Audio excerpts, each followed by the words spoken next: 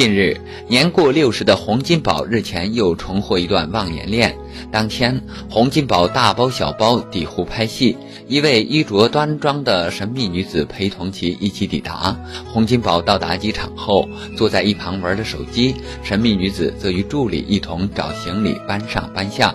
走出机场后，洪金宝先是背后推了一下该女子，举止有点暧昧。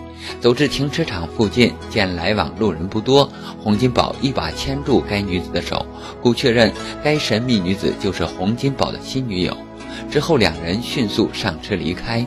娱乐九九整理报道。